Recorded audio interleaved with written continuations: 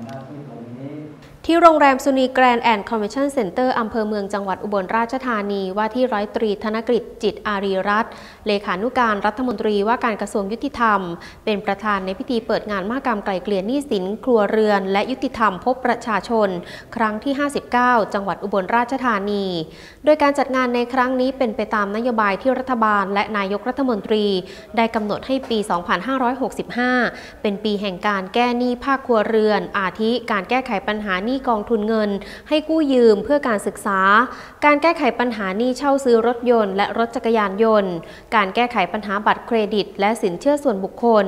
การปรับปรุงขั้นตอนกระบวนการยุติธรรมให้เอื้อต่อการแก้ไขปัญหาหนี้สินเป็นต้น กรมคุ้มครองสิทธิและเสรีภาพ และกรมบังคับคดีกระทรวงยุติธรรม จึงได้บูรณาการร่วมกับกองทุนเงินให้กู้ยืมเพื่อการศึกษากยศและสถาบันการเงินอื่น ๆ จัดกระบวนการไกลเกลี่ยหนี้สินครัวเรือนทั่วประเทศขึ้น โดยพลเอกประยุทธ์จันโอชานายกรัฐมนตรี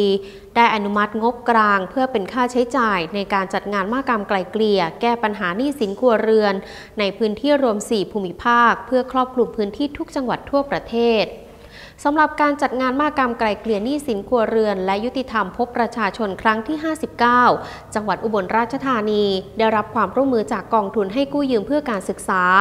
และสถาบันการเงินอื่น ๆ ได้แก่ธนาคารออมสิน ธนาคารอาคารสงเคราะห์ ธนาคารเพื่อการเกษตรและสหกรณ์การเกษตร ธนาคารกรุงเทพจำกัดมหาชน ธนาคารกสิกรไทยจำกัดมหาชน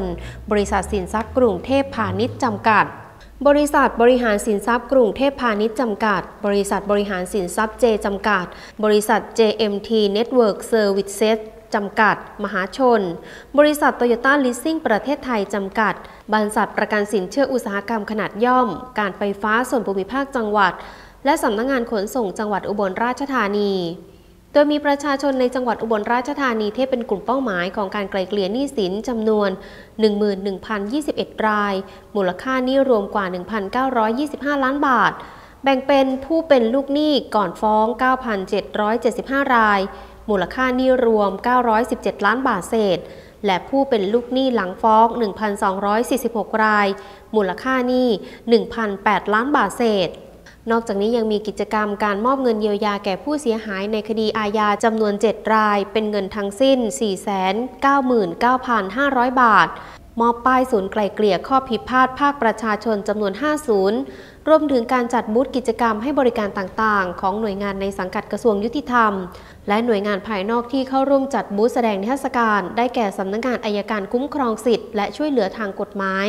และการบังคับคดีจังหวัดอุบลราชธานี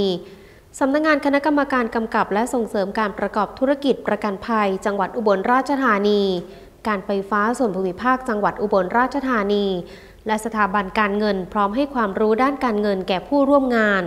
การจัดงานดังกล่าวเป็นการช่วยเหลือแก้ไขปัญหาหนี้สินให้กับภาคเอกชนและประชาชน โดยไม่จำเป็นต้องปล่อยให้ขึ้นไปสู่กระบวนการยุติธรรม ไม่ว่าจะเป็นการฟ้องร้อง ยึดทรัพย์ หรือบังคับคดี ซึ่งเป็นการสิ้นเปลืองค่าใช้จ่าย และเสียเวลาในการดำเนินคดี การจัดกิจการบรรลุเป้าหมายเพียงแต่ผู้ซื้อมีสิทธิ์ถ่ายถอนได้ภายในกำหนด แต่เวลาทำสัญญาขายฝากกันสักหนึ่งล้านบาท แต่พี่น้องประชาชนไม่ต้องการเงินหนึ่งล้านบาทที่จะไปทำ